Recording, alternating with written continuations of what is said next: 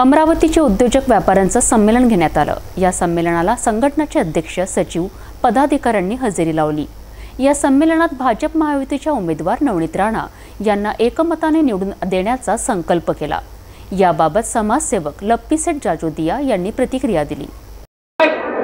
अमरावती के उद्योजक और व्यापारी लोगों का एक सम्मेलन हुआ जिसमें करीब 200 व्यापारी संगठनों के प्रमुख अध्यक्ष सचिव एवं माननीय सभासदों ने पदाधिकारियों ने बड़े स्फूर्ति से इसमें भाग लिया और अपनी व्यापारिक एकता, कई बार कहा जाता है कि व्यापारी बहुत बिखरा हुआ है। आज व्यापारियों ने अपनी एकता को प्रदर्शित किया, बता दिया कि सारे व्यापारी जब एक साथ आ जाते हैं तो वो सब कुछ कर सकते हैं। आज यहाँ सभी व्यापारियों ने एक मत से हमारी अमरावती के लोकप्रिय खासदार नवनीत राणा, नवनीत रवि राणा, इनके समर्थन में बहुत ही विशाल एकता का अनुभव दिया और एक मत से सबने आदरणीय नवनीत राणा, खासदार नवनीत राणा को चुनकर लाने का संकल्प किया।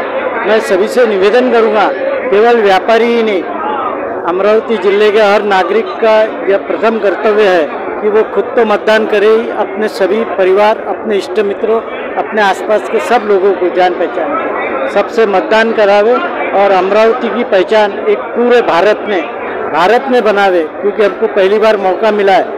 कि बहुत साल के बाद कि हमारी अपनी सरकार, अपना पंत प्रधान और अपना केंद्रीय मंत्री, जो कि आपसे हर समय 24 घंटे उपलब्ध है आसानी से।